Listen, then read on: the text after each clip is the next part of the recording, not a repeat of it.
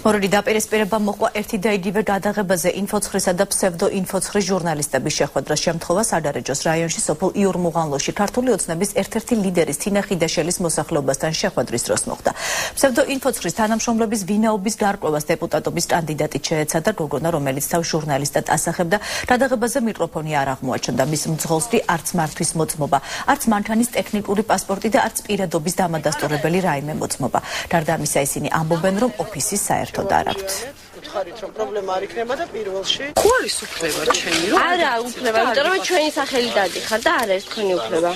თქვენი სახელი როგორ დავდიხარ აი უყურე როგორ დადიხარ? და ჩვეულები შეხედე აი ეს ეს პირიქით ხო? აი ეს დადიხარ ამათ სახელი ოღონ ცოტა ზომაში რაღაცა პატარაა თქვენი და უფრო დიდები ეკონომიას აკეთებენ რატო არ დამეჭდეს კონსერვ ამბობენ პოლიციის თანამშრომელიაო აბა საბუთი მათ ჩვენთ აქ არ მოხდა. როგორ არა გაქვს ხაბარ როგორ ხარ ეგრე საჭესთან რომ არც აბუთი გაქვს არაფერი.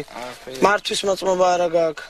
ეხლა ეგეთ წესი რო არ არა ეგეთ წესი არ არის ხა რომ საერთოდ არაფერი არ გქონდეს. არც პასპორტი არ გაქვს მანქანის. არ არსებული ამბავი. მაშ დავრაკავ ხო პატრულში და ვეტყვი რომ დაგაკავონ იმიტომ რომ უკანონოდ მართავ მანქანას. და ეგეთ. რამდენიმე მსგავსი ინციდენტის და გაურკვევლობის შემდეგ სააგენტომ საკპატენტს მიმართა საკპატენტმა ინფოცრის მიმართვა და აკმაყოფილა და სასაქონლო ნიშანის საკუთრების უფლებით დაუკანონა.